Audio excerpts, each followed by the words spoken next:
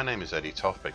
I'm Head of Technical Analysis and Senior Markets Analyst at ADM Investor Services International Limited. And here is your weekly technical analysis of LME 3-month lead and tin. I'll start with LME 3-month lead. Lead was the only one of the four metals I cover on my weekly charts to not have a weekly key reversal down two weeks ago. Hence, lead had some special attention paid to it last week to see what makes it different. The first thing you see is how comforting it is to see once again the market still keeping within the May to October 2020 bullish shift pitchfork. Now this time moving up from the support of the big old 50% Fibonacci line of the February 2018 to March 2020 move at 21.27 through the middle tine. That's currently at 21.66 and out of the narrowing range over May and June that had effectively become a descending triangle morphing possibly into a bullish halfway hesitation. The base of this action is around the previously mentioned 50% Fibonacci line, now with the added support of the rising short medium moving average, currently at 2157. The top side had been capped with decreasing highs, initially by the 50% Fibonacci line the June to October 2018 move at 2221, but more recently by a short downtrend from the start of May, currently 2206. This defined what was going on. Then last Thursday, prices punched up and closed over the downtrend. Then Friday, prices did the same to the 50% Fibonacci line at 22.21 and yesterday a defining move higher with a key reversal up above both of those, leading today's strong move higher into fairly clear air over the combination of the May high at 22.58 and the October 2018 high at 22.62. Okay, so let's look forward. Before last week, I had thoughts this might have elements, this action might have elements of a large bull flag struck halfway hesitation type action. But last week I laid off forcing that issue or calculating a move up, other than a speculative idea that it might be in the 2380s. Overall, I'm thinking more that this idea might now have a lot of merit.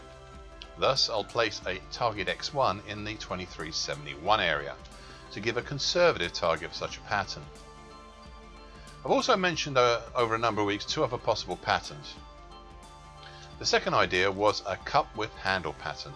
You see the action over late February, even till now, looks promising and suitable as a bullish cup with handle pattern. I was worried about the excessive height and recent wide action. However, I was confident enough last week to place a potential target X in the 2351 area. I still stand by that analysis. So those are the opportunities on the upside. Now a recent descending triangle pattern which has a slightly more bullish bias but had a chance to break either way a large bull flag stroke halfway hesitation pattern and a bullish cup with handle pattern. Now just to go back to the descending triangle pattern it had been early last week because the triangle hadn't been broken so I could not give an idea of A which way was the move and B how much it should move by because the measurement has to be taken from the break in the trend line. I could only have done that really on Friday.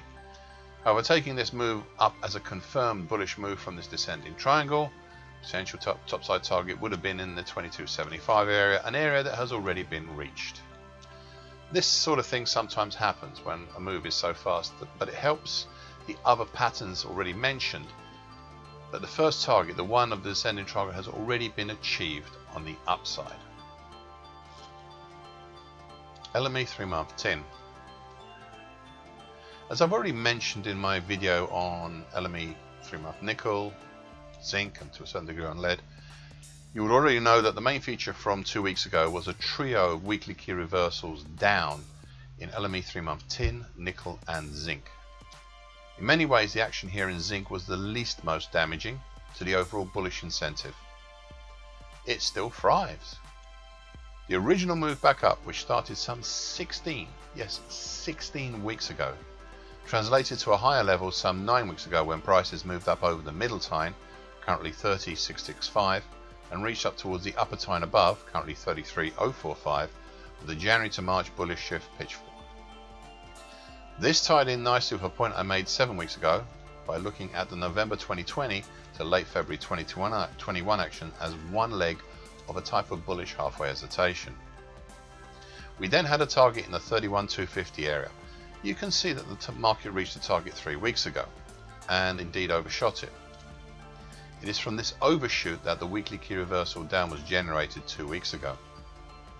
Additionally, overhead resistances, which started to accumulate above the market from 32,100 onwards, helped, I am sure, to tip the market over. Now there is one crucial thing to remember here, and why I stated right at the start that the action last week here was the least most damage, well two weeks ago, was the least most damaging to the bullish incentive.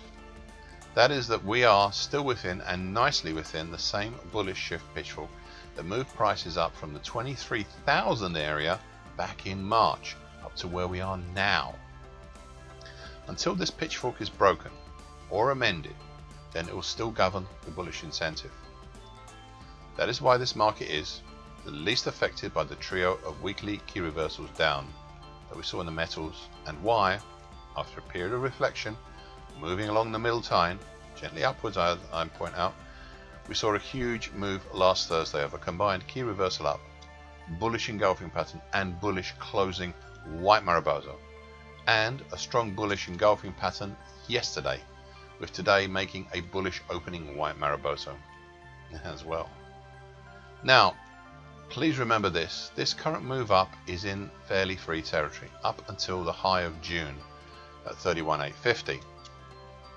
Now 31850 is not the resistance, no, no, no, no.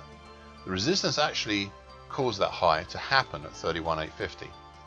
It is a stratified higher level from 32,100 up to 32,985 with another layer at 33,475. That will be the true obstacle. The bullish shift pitchfork will have to deal with. And right now I'm not certain what the outcome will be there. Thank you for listening. This weekly broadcast gives the essential market patterns and consequences. Please be aware of the risk disclaimer posted with this broadcast. Copyright is Eddie Tofpik and ADM Investor Services International Limited. And here comes the final bit.